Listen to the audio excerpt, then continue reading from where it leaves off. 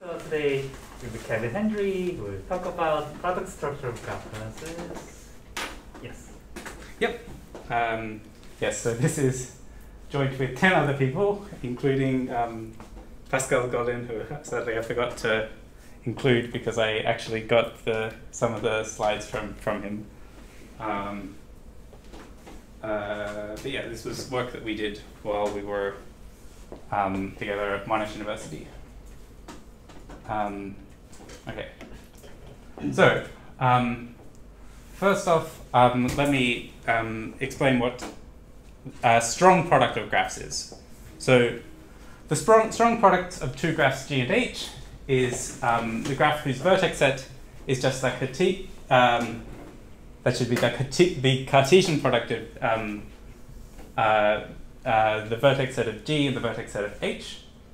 Um, and then we'll make two vertices adjacent um, if um, uh, in each coordinate they're either the same or they're neighbors. So here um, we have um, this. Uh, can I get the laser to move? Oh, oh wait, maybe. Okay, maybe not. Snap. Yeah. Oh, there we go. Okay, yes. so here, if we take um, g to be this path of length 3, and uh, okay, I'm going to give up on this. Let's let's take um, g to be a, a path of length 3 and h to also be a path of length 3. Then the strong product will look like this. So um, we've got uh, nine vertices, and then they're adjacent. So for every edge from g, um, uh, and edge of H, we sort of get this um, box with a cross in the middle um, for the four vertices corresponding to the Cartesian product of those two vertices. Um, So can you try uh, open the PDF? Oh. what, something? Oh. Uh, so, uh, should, what should I do? Maybe view and to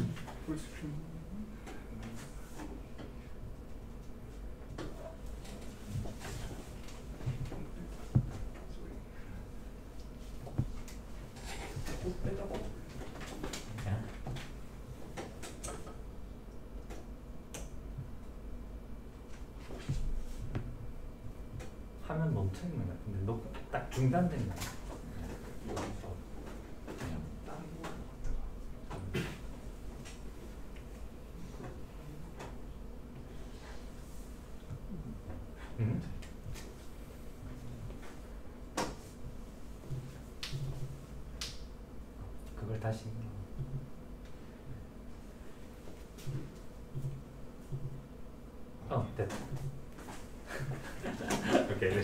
Let's just continue Or, Yeah. Okay, okay.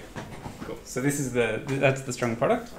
Okay, so um, the other thing that's quite important to define early on is the tree width. Um, so a tree decomposition of graph is um, consists of a tree together with a bag for every vertex of the tree, so that um, the bags cover the vertices of the graph, and whenever you have a pair of adjacent vertices, they occur together in at least one bag.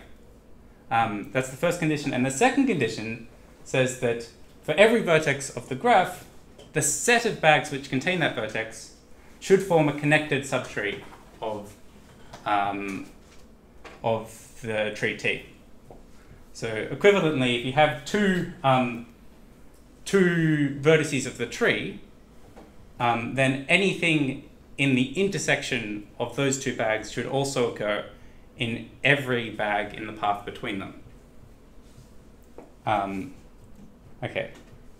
Um, uh, but there's actually another way to define tree width in terms of what are called K trees.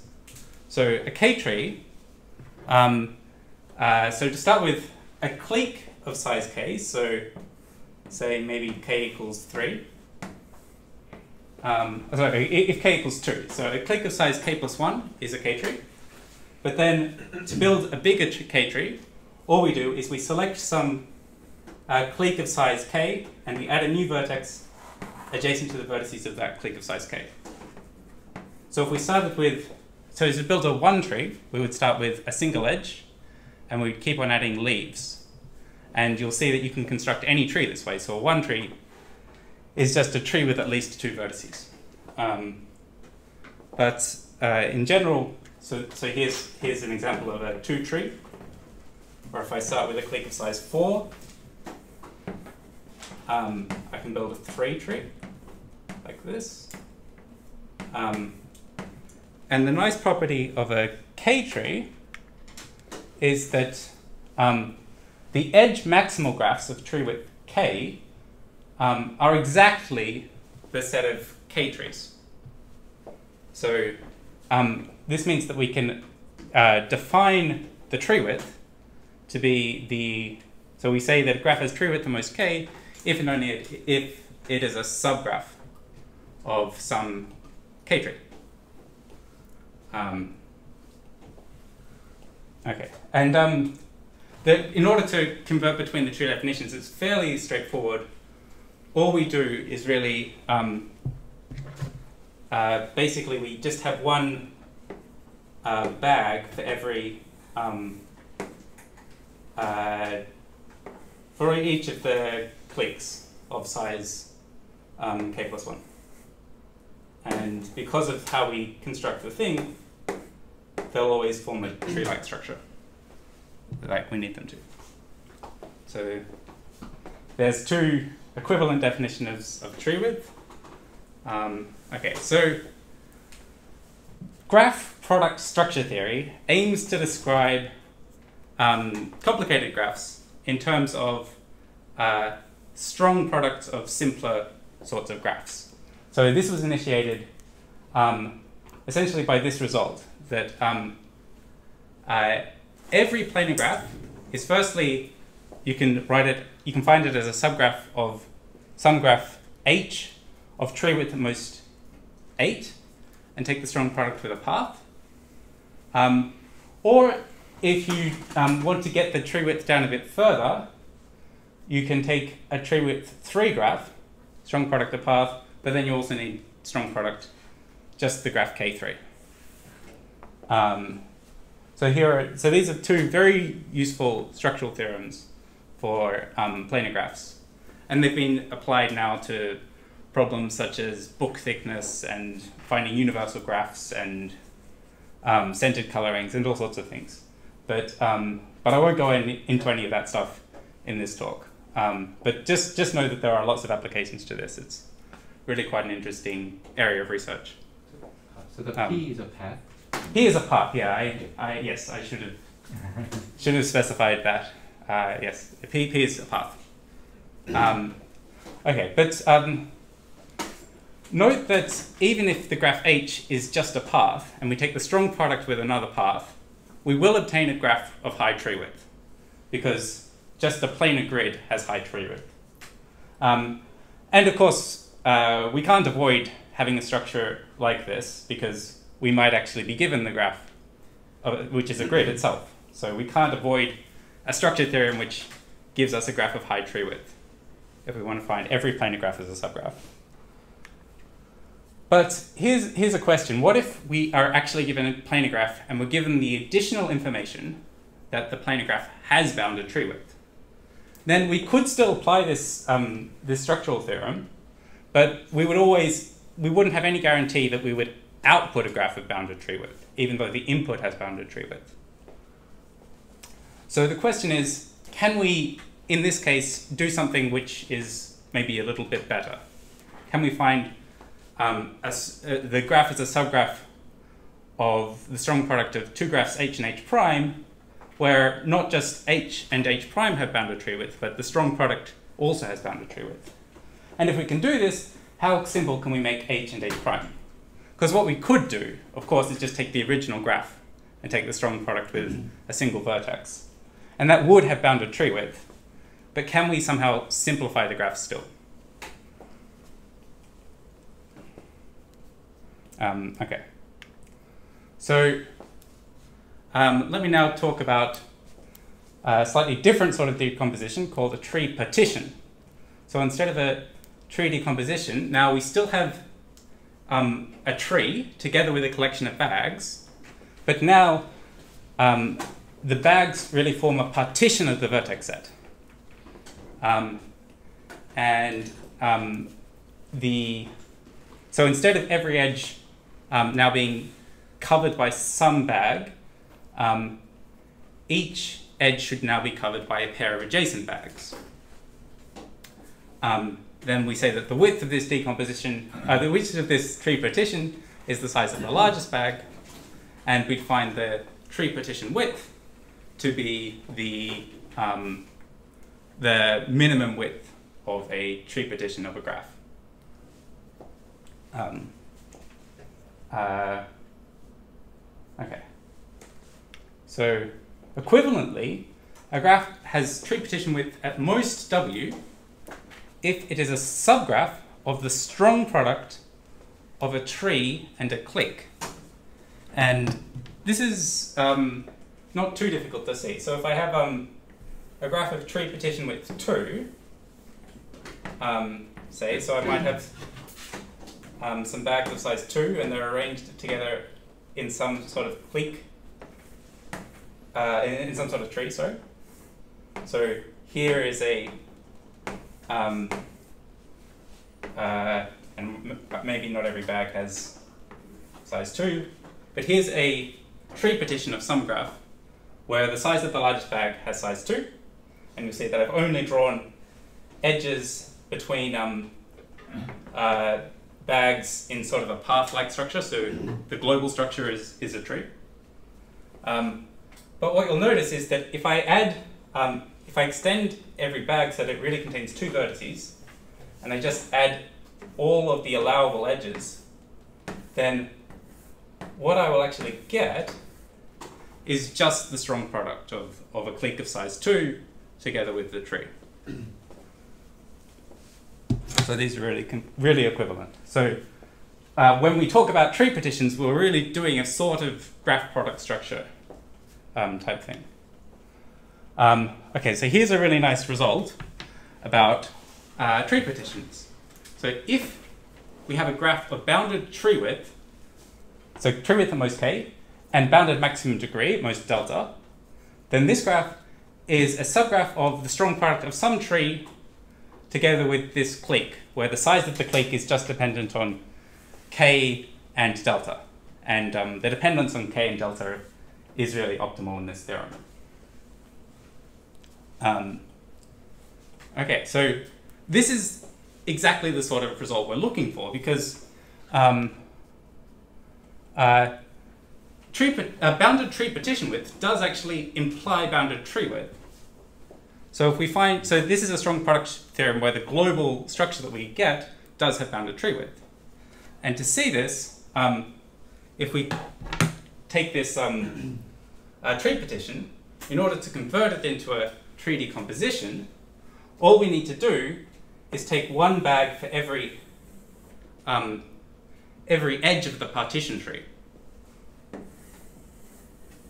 And then we form a new tree by just taking um, a spanning tree of the line graph. And this will give us a tree decomposition from the initial tree partition. And the width only grew by a factor of two because we just take pairs of adjacent um, parts to form our bags. So bounded tree partition width does imply bounded tree width. Um, so that's nice.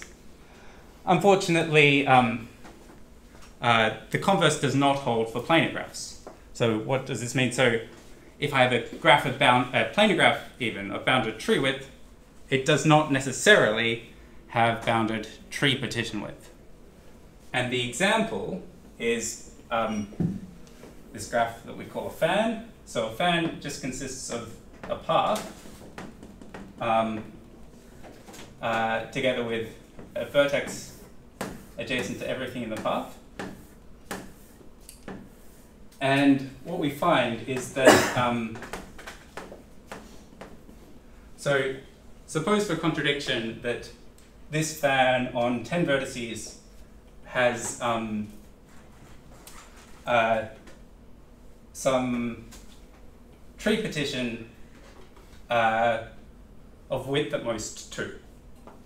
Um, then what we can say is that, well, there, there, there will be some bag containing this top vertex, um, but if we look at these three subparts of length 3, um, uh, not, not all of these subparts can contain a vertex in the same bag as this one, or else this bag is too big.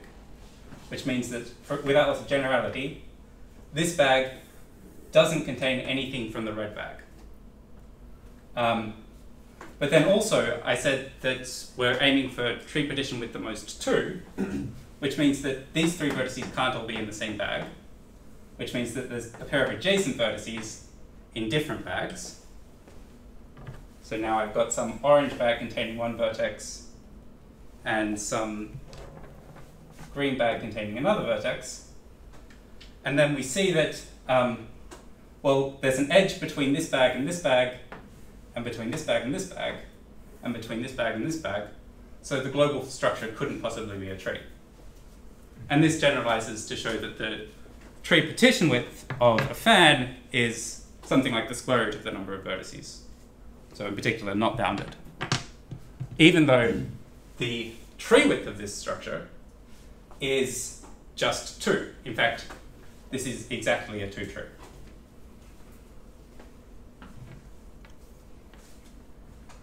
So, sorry, the, the construction you, you told us about the, the one before, which is, I mean, the com- computing the tree width from the Ah, yes. tree partition width, Yes. is it optimal? Um, hmm, I, I think I think so. Uh, I mean, For, as in like the in the worst case, it should be. Should it, it, I think it can grow by this factor of two? Yeah. the worst case, but in general case, can be smaller. Yeah, I guess I guess in general. Well, yeah. So here, here, yeah, exactly here, right? Here, the the tree partition width is is something like three here, where oh, well, in general n s- uh, square root n, whereas it shrinks down to, to yeah two for the tree width. Um, yeah, so it's only the worst case where you get this gap. But yeah, in particular, yeah, we do. All we really care is that we do get this bound on the tree width for now. Um, okay, so uh, tree partitions are nice, but they're not good enough in terms of getting us the full structural result where we want for planar graphs. So where do we go from here? Um, uh, okay, so instead of a tree partition now, um, why not take a k-tree partition? So um, here, uh, it's basically the same as the definition of tree partition, except we place replace tree with k-tree. So um, yeah, instead of so now we have some underlying uh, k tree h, and then a bag for each of the vertices of the k tree. Um, and the bags form a partition of the vertex set, and every edge either lies between two adjacent bags or is in, contained in some bag. And again, the width is of the of the partition is just the size of the largest bag. The width, uh, the partition width of the graph is the minimum width of a part, of a of a k-tree partition. Um, okay, um, and again we have this equivalent formulation. It is exactly um, equivalent to being uh, a subgraph of a strong product of now a k-tree together with um, uh, a complete graph. And if we wanted, we could replace k-tree by just saying it's equivalent to being a subgraph of just a graph of tree width um, and most k together with a complete graph. Because we have just taken the biggest graphs of tree width and most k. Um, okay, and, and the good news is that the same argument as before still gives us a bound on the tree width in terms of the k tree partition width. Um, so, uh, yeah, so, so because the um, uh, it's, a, it's, it's a little bit more technical maybe, but the tree width really doesn't grow very much when you take uh, this blow up. Um, the same, same idea sort of sort of works. Um, okay, so motivated by these k-tree partitions, we'll now define a new parameter of a graph class. So the underlying tree width of a graph class is the minimum integer c such that um, essentially every graph in the class can be um, uh, has bounded c partition width in terms of the tree width of the graph. So um, this means that if we take um, the uh, the subclass of graphs of tree width the most k, we should have bounded c tree, c tree partition width for that subclass for any fixed k.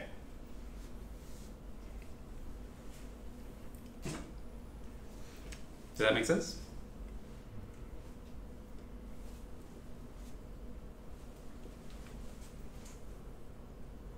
Um, yeah. Uh, hopefully it, will become more clear um, if it's not clear already. Um, okay, so to get some, start getting some lower bounds on this um, underlying tree width notion or um, these, or, or just in general, like getting some lower bounds for C tree partition widths of some graphs. Um, well, so first of all, we already found um, a graph of tree width 2, um, which uh, has um, unbounded uh, uh, 2 tree partition width. Uh, so, sorry, it has unbounded, wait, it has unbounded tree partition width. I think these numbers are going to be off by one. Um, so what we can actually do is um, if we have some graph of uh, with large uh, C tree partition width, then we can take um, uh, many copies of this graph. So let's start with a fan. Let's take many copies of a fan. Let's do this um, L times, or L plus 1 times. And then if we add a new vertex adjacent to all of the vertices that we've drawn so far, oh, um,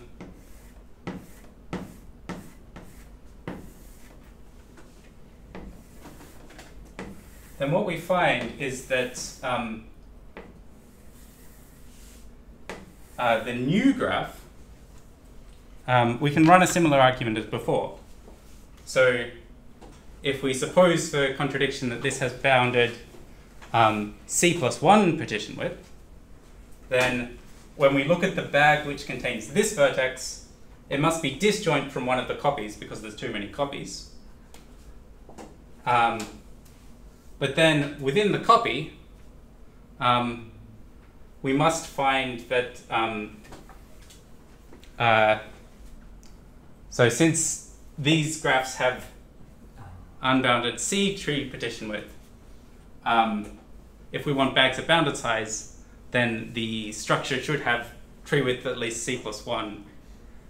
And then the structure, when you add one dominant vertex to whatever uh, to whatever graph you get in here, this bag has to be adjacent to all of the bags inside this picture, so it will always increase the tree width by one.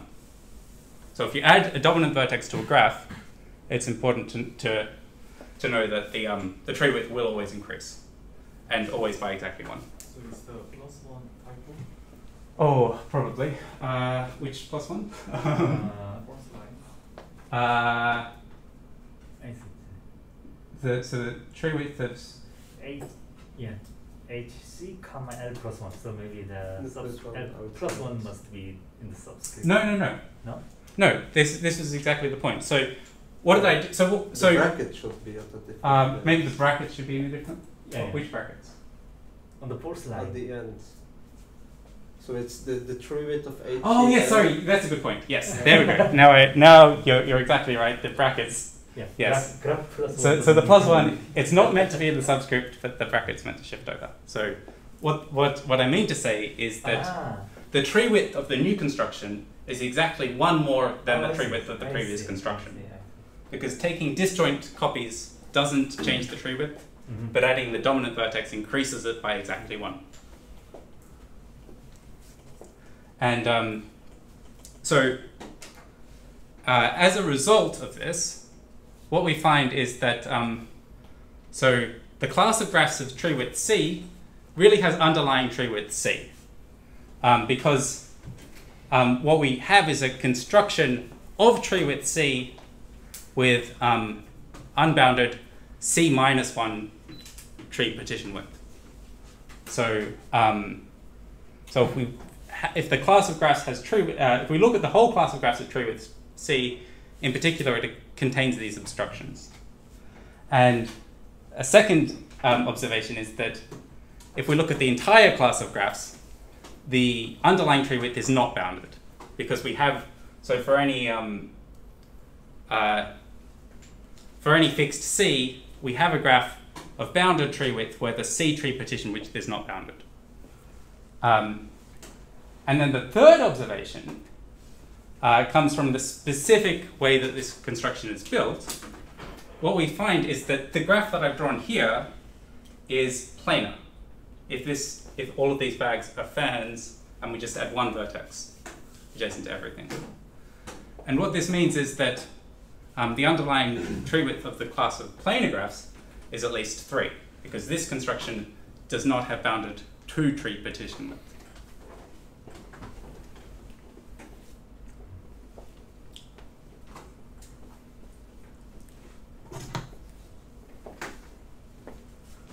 Okay, so those are those are how we, and there, there's um, yeah, that's the main way of getting lower bounds for, for, for these sort of results.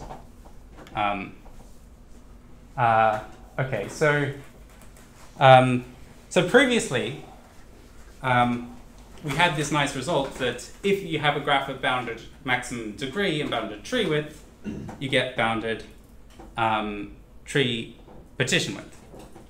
Um, now, of course, uh, if we have, uh, we can't in general hope for bounded maximum degree.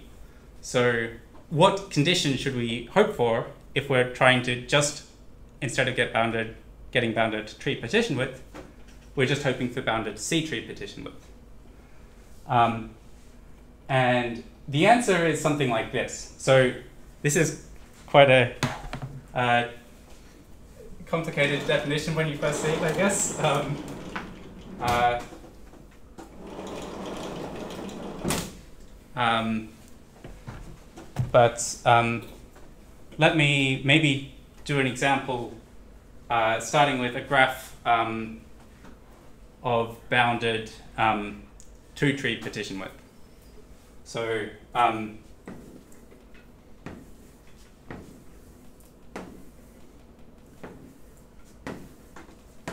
Okay, so here's a global structure which is a two tree,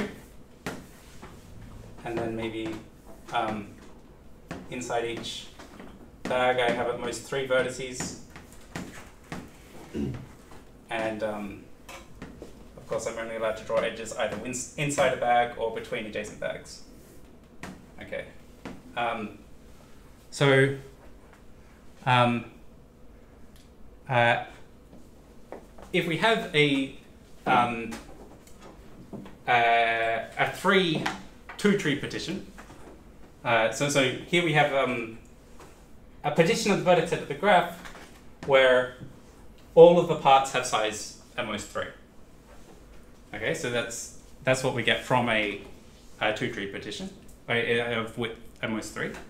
Um, so what we want is the following, so that um, so if c equals 2, whenever we delete um, two of the um, two of the parts, so if I select this part and this part, and I remove these, and then I look at a component of what's left over, so this, this pair of vertices happens to split the graph into two components, this component and this component. So let me just focus on this one here. What I want is to find a bounded size set of vertices which separates the neighbors of this set, let's call this S1, from the neighbors of this set, let's call it S2. Okay? So in this particular picture, what you'll see is that the um, the only allowable common neighbors of S2 and S1 in this component are in this bag here. Um, so we take this bag here to be the set, oh dear, uh, we take this bag here to be the set Q. Now, what the definition says is that once we delete Q and then look at the subcomponents of this component, um, each of those should uh, should not contain uh, neighbors of both of these. They, so we, we have one, we, we might contain neighbors of S2, but we shouldn't also contain neighbors of S1. Um, so, and, um, and you note that this, this choice of this bag here works even if the picture is a bit um, is a bit more complicated. So I might have another bag up here and extend up here. Oh dear, I'm really not doing this very well. Um, um, so I might have more bags here so that all of these were in the same component. Um, but still, there, there should be some bag which separates these two. Now, and essentially, when these two are adjacent, um, uh, you should always take whichever bag is in the clique containing them. So the the structure of the of the C tree will will give you that this um, separates exactly what we want it to, according according to this. Um, so.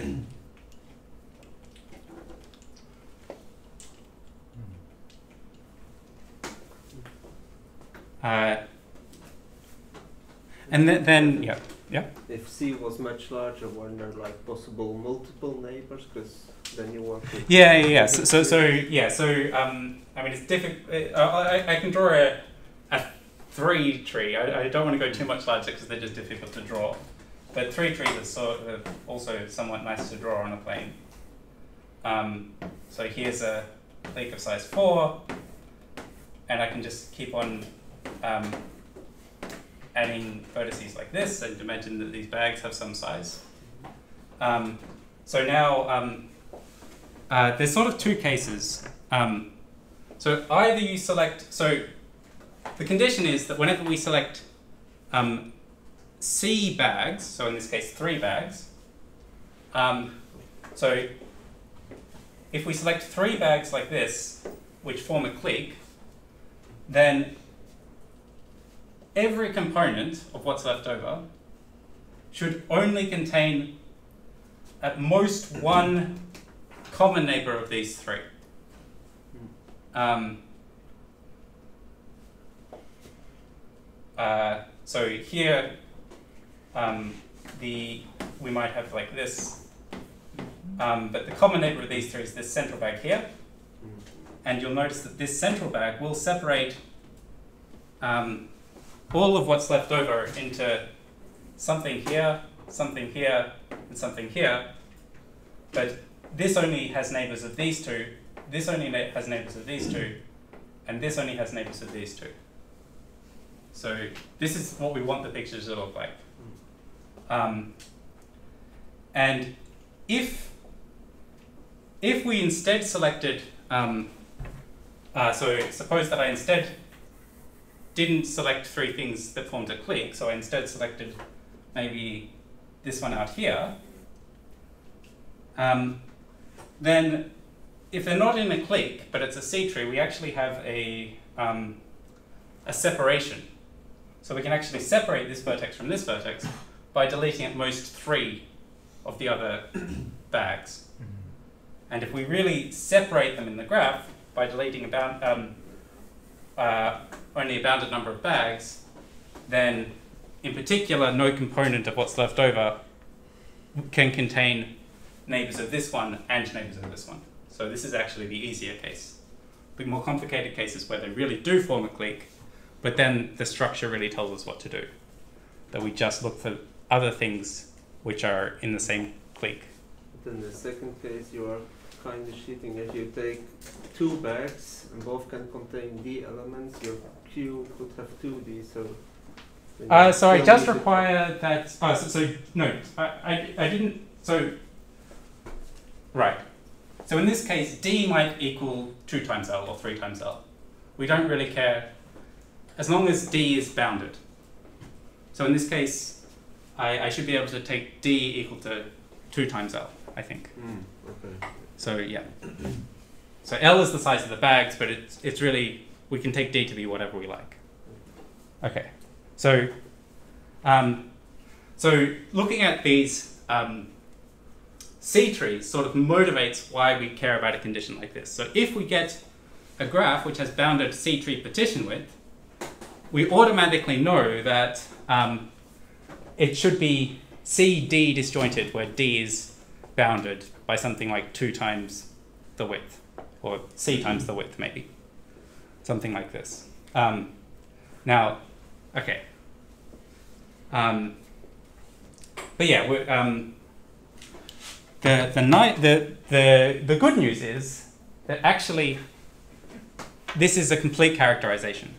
Um, so, uh, given any um, fixed C uh, and a bounded tree width graph, we sort of everything will break if, if we don't have bounded tree width.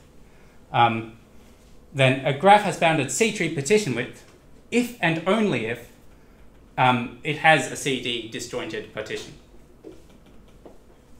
Um, and really, the the, um, the the main ideas of this proof um, were already um, very, very similar to the proof that did the tree partition. Uh, that if you have bounded maximum degree. So once we once we figured out what the right sort of generalization of it was, I won't say it was completely trivial because I know it was uh, it it was still some work, but um, uh, the ideas for it um, were sort of yeah really really borrowing from that proof. Um, yeah. Okay. So I, I, I won't prove this here. If, uh, many of you will have seen Pascal's talk where he where he went through the proof of this. It's, it's, it's quite technical. It's, it's quite a nice proof, but uh, yeah, I, I won't go through it yet. Um, uh, okay, I, I, I just want to talk about some of the applications of this result. So once we have this um, uh, characterization in terms of these uh, CD disjointed partitions, it really opens up for us to get these uh, um, these bounds on these on the underlying tree width of many many classes of graphs. So, um, so firstly, if we consider the graphs which exclude, oh, uh, I, I'll just come back. Uh, KS, a KST minus, so a complete graph with sides of sides S and T, um, where think of T as being the larger side of the um, of the bipartition, or you know, otherwise T at least three technically. Um, then the underlying tree width of the class of KST minor free graphs is really equal to three. Um, and in particular, uh, if we look at a KST minor free graph of tree width the most k, then the um, S tree partition width um, is something like k squared log k, is or, or the k squared log k. Um, and this, this is proved using these um, C tree partitions, and you can actually take the partition just to be the singleton partition. And you can show that um, if you take the singleton partition, then you, you can really um, uh, delete a bounded number of vertices in each component uh, to separate only three. Uh, one, yeah. So, so maybe I should. Uh, on top. ah,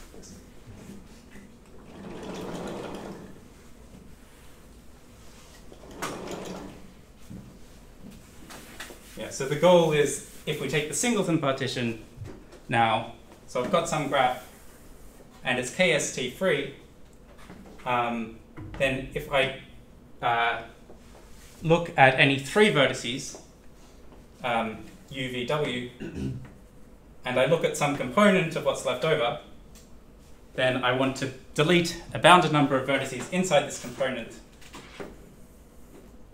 so that um, the, the sort of subcomponents here each only see at most two of the vertices. Um, and um, uh, the, the idea for proving this uses um, sort of an Erdős-Pósa type argument where uh, we look at all of the we, we try and find a, a collection of disjoint um, subgraphs inside this component which sort of link up um, the three vertices. Uh, and then we show that um, if you have many disjoint subgraphs linking the three vertices, then, well, we would just create a K3 T minor. Uh, so this is if S equals 3. This, the, reason I drew three vertices was I was taking S to equal 3. Um, but in general, this works if wh- wh- whatever the value of S is. Um, but yeah, if you, if you have many disjoint um, subgraphs which sort of link these three vertices together, then you just contract each of them to a single vertex to build a k st minor or k 3t minor in this case. Um, and if you don't have them, then there's an Erdős-Pósa result which just allows you to find a small set which hits all of the subgraphs that look like this, which means that all of the remaining components don't link the three together in, in the sense that they contain at most neighbors of two of them. Uh, so that's just a very, uh, very rough sketch of, of how that proof works. Um, um, but with this result, we immediately um, are able to calculate the underlying tree width of graphs embeddable on any fixed surface. Because um, uh, in particular, the lower bound works the same as for planar graphs. Um, planar graphs can be embedded on any fixed surface. Um, but the upper bound works just because um, uh, for every fixed surface, uh, there is some constant t such that uh, the graph k3t cannot be embedded on the surface. Um, and this is this is good news for us. So now we can finally address the motivating question I posed near the start of the talk. So there exists a function f such that every planar graph of tree width k is a subgraph of h times um, a clique of size f of k um, for some three tree h. Um, and now the tree width of this entire construction will just be something like three times the size of this clique. So it will be bounded in terms of the tree width of the original graph. But it's quite a nice simple structure of the type we're looking for.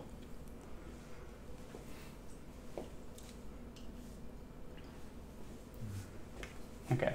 Um, so uh, let me talk briefly about a few other applications. So um, uh, an interesting observation is that so if C is at least 2, um, and we take a subdivision of some graph G, then uh, in particular we cannot decrease the uh, C tree partition width of, of a graph that we're looking for.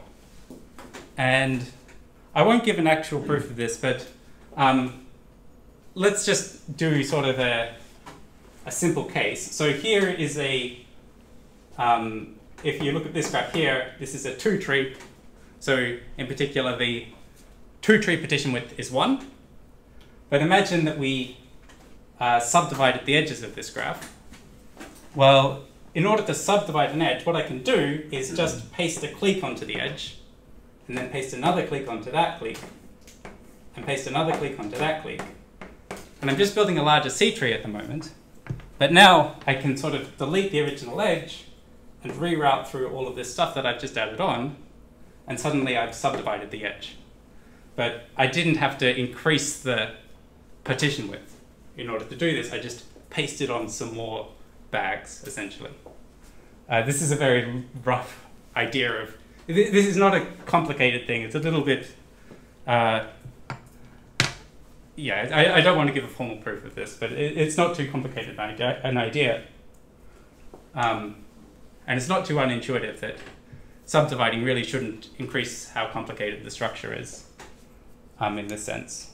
Um, but it has um, uh, an immediate consequence that, um, so if we are interested in the class of k-planar graphs, so these are graphs which can be drawn so that um, every edge is crossed at most k times, um, then the class of, uh, even the class of one planar graphs has unbounded underlying tree width. Because we can take our favorite family of obstructions and then just subdivide all of the edges of these obstructions until they can be drawn so that every edge is crossed at most once.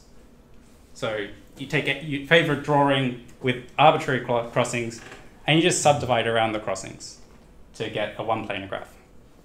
Um, but because we've just subdivided, we didn't increase the C tree partition width. Uh,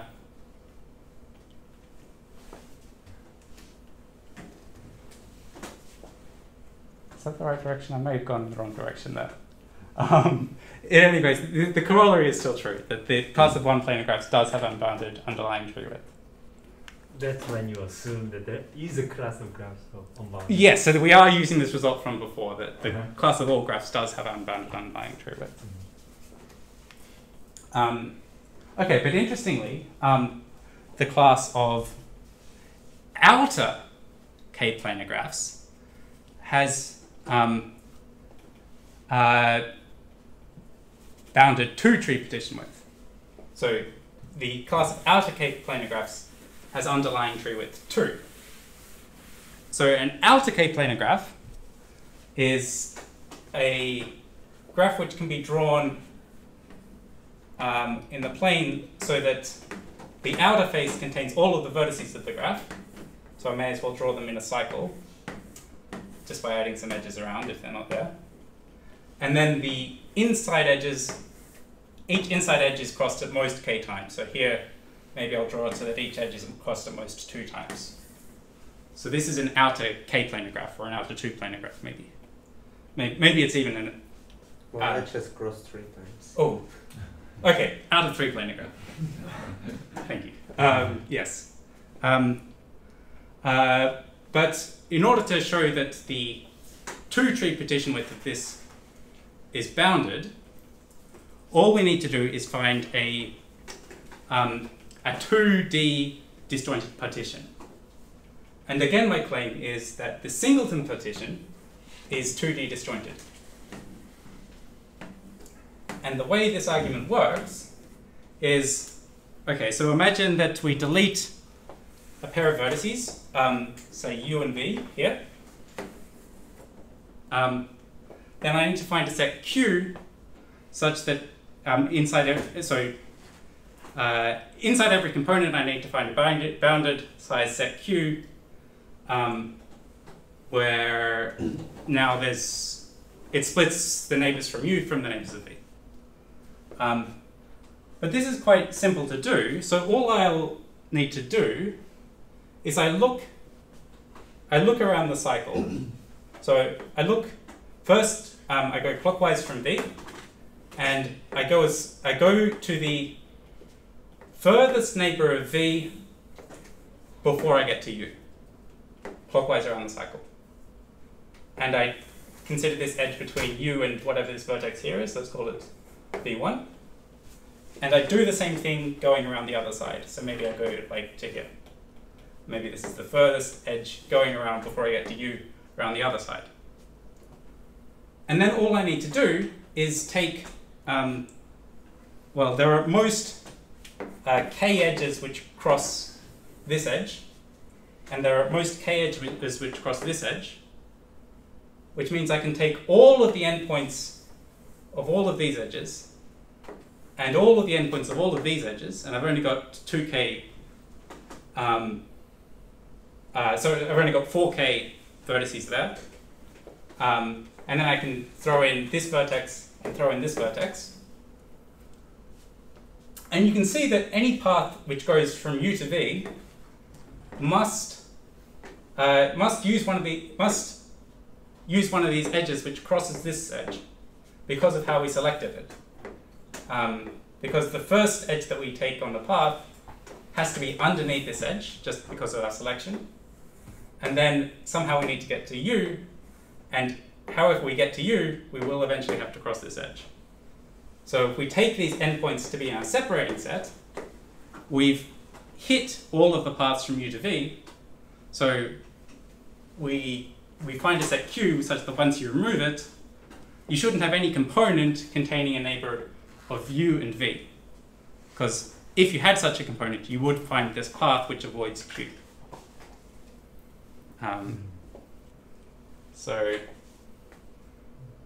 yeah, the, I don't know how much the picture helped, or, but uh, but yeah, this this was sort of I think this was one of my favorite applications of the um, of the C tree uh, the CD decompositions of how we can really how how useful they are to really sort of get these results quite easily.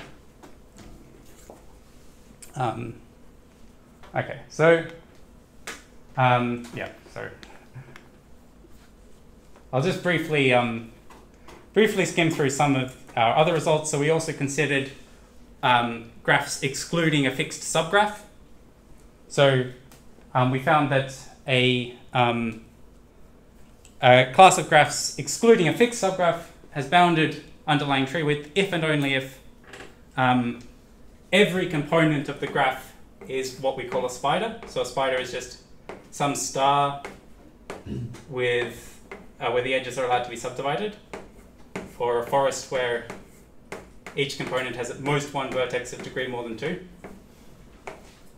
Um, uh, so if you exclude such a subgraph, then you will have bounded underlying tree width, but if you um, exclude any other graph, then you won't have unbounded, then you will have unbounded underlying tree width.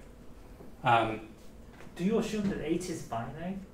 uh, uh, for the, so, right, yeah, if we consider a set of graphs, which we, if we exclude a set of graphs, uh, yeah, so set H. Yeah, so do we assume that, uh, probably we should. Probably that's meant to say finite. Do you remember? I, I, I, I, at least the proof, proof that I have in my head would assume Yeah. that it's finite. I, I, I think that's just, otherwise It's I meant could to- uh, like just list all possible extensions which are not spider. yeah, maybe you can list all cycles otherwise. uh. Yeah, so if you forbid all cycles, then of course you will get just trees. And trees do have bounded one tree partition width. Oh right. So, so yes, you definitely need to assume finite. Um, but the the argument to show that you need to exclude a spider is essentially otherwise you can just subdivide the graph until it doesn't contain anything else. So, um, yeah. So if your graph contains a cycle, then you can find a graph of large girth with high C tree partition width just by subdividing all the edges of some obstruction. And if the graph has two vertices of high degree in the same component, again, you can just subdivide the path between them until we no longer contain it as a subgraph. Um, and the other direction is, is um, much more complicated. Um, and we sort of use the full strength of, the, of these CD de- decompositions to prove the, the other direction, or to get the tight result in the other direction. Um, but we do get a tight result. Um, so if you forbid, um, forbid just one subgraph, and that subgraph is a path, then the underlying tree width of the class of graphs is just log of the length of the path.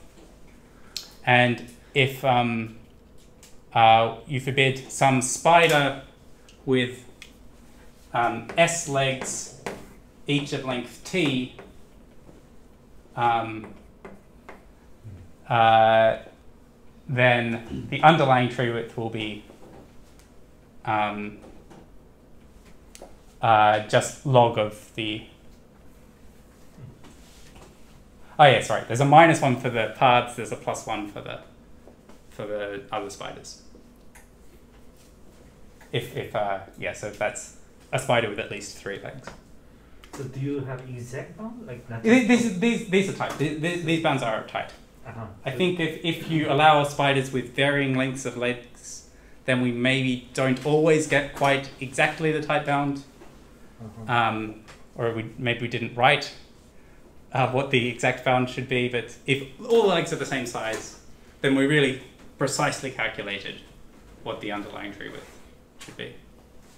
Um, and it's, uh, it's, it's quite a nice inductive argument. Um, which which does this. But uh, but it's a bit too complicated to go into, um, particularly in in the final minute of the talk. Um, so I'll just um, um, mention uh, uh, one last thing. So. Um, uh, yeah, so if we forbid an induced subgraph, then again we get um, uh, bounded underlying tree width if and only if now each component really is a star. So the um, we can no longer take spiders when we look at induced subgraphs. And um, yeah, so we get um, these uh, more precise calculations so that uh, if we exclude um, a path on at most three vertices uh, or exclude some graph without any edges, then um, then we would get underlying tree width zero, which is sort of a strange um, thing, but it's it's uh, yeah, uh, and then yeah, if we we otherwise get bounded um, a one tree partition width if we um, uh, if each component is um, a star or a path on most three vertices, and then two if uh, if we have any other star forest. Okay, um, and and that's that, that's all I have prepared. So.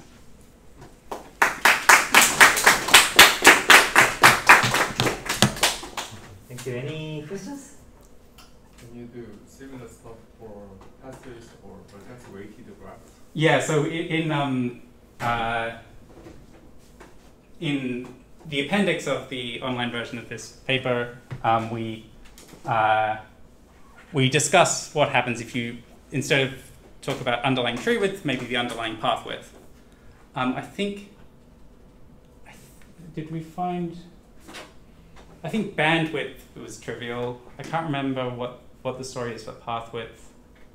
We some of the results for tree width sort of translate. I think, but uh, we have we do say something about it. I can't remember what we say about path width. What was the other thing you mentioned? Vertex weighted. Oh, vertex weighted graphs. Oh, interesting. Um, what could we say about vertex weighted graphs? Um, so a tree decomposition of a vertex weighted graphs, I guess you just take the weight of the bags instead. But now we don't get this characterization in terms of these K trees, I guess. Or we maybe have to redefine K trees to have be weighted K trees. I'm not. s- I, I don't know what happens with vertex weighted graphs. I hadn't. I haven't thought about it. That's an interesting question. Uh, So I also have a question. So initial motivation you gave us is Mhm. that if you do these decompositions, then you get something simpler, so you can understand what's really going on a bit better. Yeah. But the application you gave me was more like the, you are taking the I mean, it was not quite up to that expectation, I thought, because the application was mostly about the showing. the Oh yeah, I sort of like I did. Um, Yeah. I, I haven't done much. Like I, So, I did applications of the main lemma, but not of the. right. I didn't show you how to apply any of the actual That's right. results that we get. So Yeah. is there any like some independent results which may be about some different, I mean, from different, and the people ask that question, which can be answered if I know that some graph class has like a bounded underlying tree width, and also if I know your function f, which maps tree width to the, this, uh, Yeah, I, I think this is something that I'm interested in looking into more. But I, at the moment, we sort of, we're just really, you know, focused on trying to figure out what we could actually say, and then we, I, I, I- don't know. I think we sort of haven't gotten around to the thing of like, actually, is this useful? Um, I, I think it should be. I, I, I, I- would expect, and there are some small things that I was sort of looking at how these other product structure things are applied and um, and I think like in some cases there are some things we can say which it's not clear how interesting they are like they, they do give some bounds which are sort of more refined than than you get without these theorems but then there are conjectures that sort of the the bound the bounds we get from this shouldn't be tight so um, but I haven't looked in. I've only looked at like a couple of things. I haven't, and I don't. I'm not really an expert in in the application of the strong product stru- structure theory stuff. So I, I'm sort of just like uh, coming newly to the literature and trying to see like if there's anything immediately that falls out. And um, yeah, I, um, I don't have any. uh, Don't have any insights yet Maybe into, just bother you one more time. I mean, like if I suppose I have a some arbitrary graph. Yep. But I decomposed it into this K tree strong product with a complete kind of complete graph.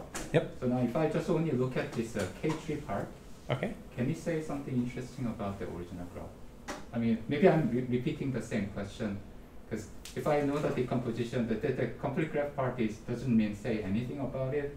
But on the other hand, the K tree part potentially say something interesting about the original graph. Mhm. So does that say anything Um, useful or? I mean, I mean, of course, say maybe say useful, but is some do you know any? so, wait. Um, I'm not quite sure. I mean, of course, the, uh, the the interesting thing I can tell you about the graph is that it has bounded. Um, But that's yeah, I, I, I, it's kind of redundant. It, Uh, the, looks like some threw away some information, but keeps maybe some other information. so I guess you. Um, hmm. Are you, are you supposing that you have like an optimal uh, decomp? Um, So yeah, I mean, suppose, I mean, you, you would just saying it can be embedded into this strong product, Yeah. right? So now suppose because the first second component of strong product doesn't say very much; it's just a complete graph. yeah, yeah, That's the interesting part is the first component. yeah. So now, and then it's relatively simple because it's either Yeah, yeah, yeah. or like I mean, it's system. bounded tree width. It's Yeah, it's yeah. very like there's a lot of things you can say about graphs of bounded tree width. Ah, so um, then that can be transferred to the original graph. Well, yeah, the original graph also has bounded tree width, like, but I guess that was part of one of the assumptions in order to get to this structure. Um, but yeah, so this is like I guess um, Tree tree has a degree D or something. Does that translate something about the root graph? um, I mean it. Yeah, I guess I don't know this. Like the answer, I guess, is yes in the sense that that's why people study strong product graph uh, graph theory, uh, uh, product structure or graph theory. Like uh, in some sense, there should be something that people can say that I don't. I, I I'm not not really an expert in in the sorts of things. Like I know the there's applic yeah so you should get some results I think for like um, maybe p-centered colorings or um, maybe some things like this. Uh, I don't know yet, but but yeah, I'm not sure exactly which settings are the most promising in terms of appl- applying these results. Um, but yeah. Uh, uh, if I'm given a, let's say, a planar graph of bounded tree width, and let's say I want to find the, compute this uh, part, the partition width, let's say, Uh-huh. algorithmically, is it, To get the precise calculation or just decide whether it's uh, like K tree partition width? So I guess or- yeah. So so what we get is um, I think for um, for planar graphs, um, so we get this um, k squared log k. Uh, although maybe this was there was some recent email from David that somewhere in the paper there's a log k factor which should be removed. Maybe this is it. Um, so maybe it's k squared. Um, uh, to, to actually compute the decomposition which achieves this bound, um, I think it. I, I think every I think the proofs are algorithmic, so I think they Uh, uh, yeah, but this bound algorithmic. yeah I think think you would get an Mm. algorithm an algorithm for getting this. At least, it's not obvious. I, I can't think of where in the proof it should fail. Um, yeah. But so far, there's no non-trivial way known to actually decide a given uh, graph of bounded tree width to have uh, uh, S3 partition with at most L or Um, I, I think that maybe not. you know maybe, maybe not many people have looked at it, so um, but yeah, I, I don't know whether whether Mhm. uh, these algorithms exist.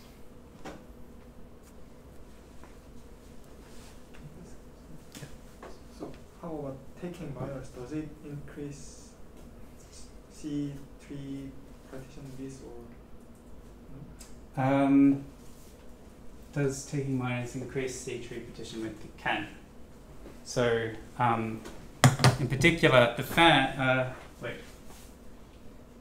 Yes. So, if I have this graph, um,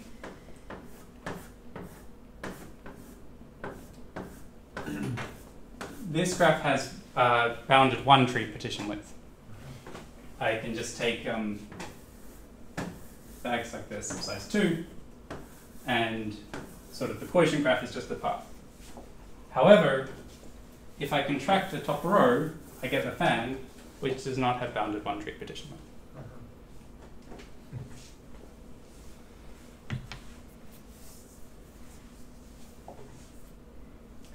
Right. Any other questions? Uh, if not, let's thank the speaker.